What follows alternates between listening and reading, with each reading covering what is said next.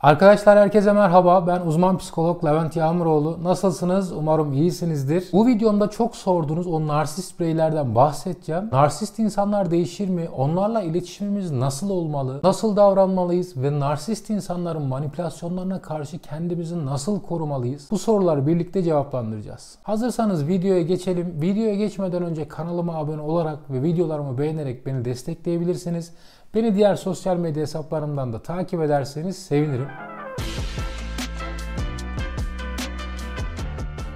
Evet, öncelikle narsist ne demek? Buradan başlayalım. Narsist terimi Yunan mitolojisindeki güzellik tanrısı olan Narsisus'tan türemiştir. Narsizm bir kişinin kendisini aşırı şekilde beğenmesi, kendi isteklerini ve ihtiyaçlarını aşırı derecede ön planda tutması, başkasının fiziksel veya duygusal ihtiyaçlarına yeteri kadar ilgi göstermemesi ve genellikle empati yoksunluğu göstermesi durumunu ifade eder. Narsist kişilik bozukluğu klinik bir terimdir ve psikiyatrik bir tanıdır. Bu bozuklukta birey kendi önemini ve kendi üstünlüğünü abartılı bir şekilde vurgular. Başkalarını manipüle edebilir, kendini özel ve eşsiz olarak görür, empati eksikliği gösterebilir ve genellikle uzun süreli sağlıksız ilişkiler yaşayabilir. Peki narsist insanlarla ilişkimiz ve etkileşimimiz nasıl olmalı? Narsist bireyler kendilerini genellikle ön planda tutarlar ve çevrelerindeki insanları manipüle edebilirler demiştik. Peki narsist insanlarla nasıl başa çıkabiliriz? Kendimizi nasıl koruyabiliriz? Narsist insanlarla iletişim kurarken dikkat etmemiz gereken bazı noktalar vardır. Bunların ilki empati. Empati göstermeye çalışın ama onun da empati becerisini kazanmasını sağlayacak bazı hamleler yapın. Mesela sizi rahatsız eden davranışlarını ona karşı taklit ederek onun empati becerisi kazanmasını sağlayabilirsiniz. Eğer bencilce davranışlarda bulunuyorsa,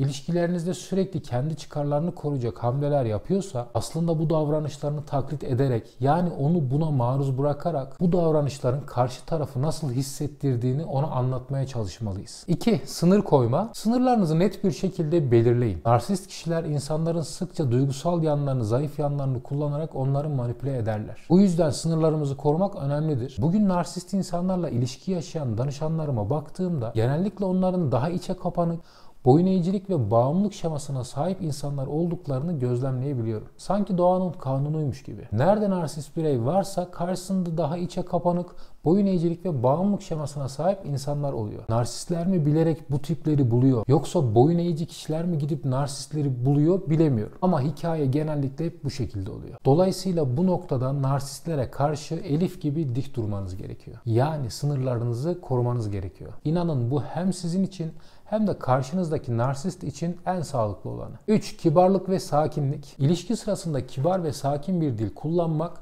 gereksiz çatışmaların önüne geçebilir. Unutmayın narsistler hep haklıdır. Onlarla girdiğiniz tartışmaların genellikle %90'ında haksız çıkarsınız. Dolayısıyla iletişiminizde ve tartışmalarınızda olabildiğince sakin kalmaya çalışın. Hatta bazı konularda elinizde yeteri kadar somut kanıt veya delil yoksa onlarla hiç tartışmaya bile girmeyin. Çünkü bu gereksiz bir efor olacaktır. Narsistler sizinle tartışma halindeyken sizin fikirleriniz veya düşüncelerinizi anlamak yerine kendilerini haklı çıkarma ve ön plana atma motivasyonuyla ilerleyeceklerdir. 4. Kendi duygusal durumunu koruma. Narsist insanlarla etkileşim sırasında kendi duygusal durumunuzu korumaya çalışın. Onların negatif enerjilerini size geçirmelerine izin vermeyin. Narsistler genellikle ilişkilerinde karşılarındaki insanları domine etmeye çalışırlar. Dolayısıyla bu durumda kendinizi yetersiz hissetmemeye çalışın. Hatta duygusal olarak kendinizi izole etmeyi de öğrenin. Onun söylemlerine ve tutumlarına karşı kendinizi koruyun. Peki kendimizi narsist insanlara karşı nasıl koruruz? Kendinizi narsist insanlara karşı korumak için şu adımları takip edebilirsiniz. Öncelikle bilinçli olun. Narsist davranışları tanımak sizi manipülasyonlara karşı daha dirençli bir hale getirebilir. Narsizm nedir? Narsist insanların bu davranışlarının sebepleri nelerdir? Sizden ihtiyaç duyduğu sözler, beklentiler, davranış ve tutumları nelerdir? Neden bu yapıya sahipler? Ben bunları birazdan açıklayacağım ama bunları bilmek sizi narsistlere karşı korumanızda yardımcı olacaktır olacaktır. İyi bir şekilde kendinize bakın. Kendinize iyi bakmak, fiziksel ve ruhsal sağlığınıza özen göstermek, narsist insanların negatif etkilerinden korunmanıza yardımcı olacaktır. Evet destek grupları veya danışmanlık alarak da kendinizi narsist insanlara karşı koruyabilirsiniz. Narsist insanlarla başa çıkabilmek için profesyonel destek almayı düşünebilirsiniz. Aynı zamanda benzer deneyimleri yaşayan insanlarla iletişim kurarak onlarla etkileşim halinde olmanız faydalı olabilir. Narsistler sizlere öyle bir şekilde davranır ki bazı zamanlarda kendinizden şüphe etmeye başlarsınız. Bu gibi durumlarda size karşı objektif davranacağına inandığınız arkadaşlarınızdan, dostlarınızdan durum değerlendirmesi talep edebilirsiniz. Evet gelelim asıl konuya. Narsistlerin bu ben merkezli yaklaşımlarının, davranışlarının sebepleri, kökenleri nelerdir? Narsist davranışlarının altında yatan sebepler karmaşık olabilir ve psikolojik, sosyal, biyolojik bir sürü faktörün bir kombinasyonunu içerebilir. İşte narsist davranışların bazı olası sebepleri. Bunların ilkinde çocukluk dönemi deneyimleri geliyor. Çocukluk döneminde yaşanan deneyimler narsizmin gelişmesinde etkili olabilir. Örneğin aşırı övgü veya aşırı eleştiriye maruz kalmak çocuğun kendisine yönelik aşırı öz saygı ve empati eksikliği geliştirmesine sebep olabilir. Ebeveynlerin aşırı hoşgörüsüzlüğü veya aşırı hoşgörüsü çocuğun narsistik eğilimler göstermesine sebep olabilir. Ebeveynlerin çocuklarını sürekli övücü şekilde teşvik etmeleri veya onlara sınırsız imkanlar sunmaları çocuğun aşırı derecede öz saygı geliştirmesine katkıda bulunabilir. 2. Empati eksikliği. Narsist bireyler genellikle başkalarının duygularına veya ihtiyaçlarına karşı duyarsızlardır. Empati eksikliği narsizmin en temel özelliğidir ve kişinin başkalarının duygusal deneyimlerini anlamakta zorluk çekmesine sebep olabilir. 3. Kendilik değerinin dengelenmesi. Narsist bireyler genellikle kendilik değerlerini aşırı övgüler, başarılar veya dışsal onaylarla dengelemeye çalışabilirler. İşte bu yüzden sürekli dikkat veya hayranlık arayışı içerisinde olabiliyorlar. Evet 4. Koruyucu mekanizmalar. Narsizm bazı kişilerin zorlu duygusal deneyimleriyle başa çıkabilmek için kullanmış oldukları bir savunma mekanizması olabiliyor. Yani kendi yetersizlik duygularıyla başa çıkabilmek için bu narsistik davranışları geliştirebiliyorlar. Kendi zayıf yönlerini kabul etmek yerine narsist bireyler genellikle grandiyöz ve üstün görünme maskesini takabiliyorlar. Evet 5 biyolojik faktörler. Bazı araştırmalar narsizmin genetik yatkınlık ve beyin kimyasındaki değişiklikler gibi biyolojik temelleri olabileceğini öne sürüyor. Ancak bu konudaki araştırmalar hala devam ediyormuş. Evet son faktör toplumsal etki etkiler. Bazı toplumsal faktörler de narsizmin gelişimini etkileyebiliyor. Örneğin medyanın veya sosyal medyanın popülerliğini ve görünürlüğünün vurgulanmasıyla insanlarda narsistik eğilimleri artırabileceği düşünülüyor.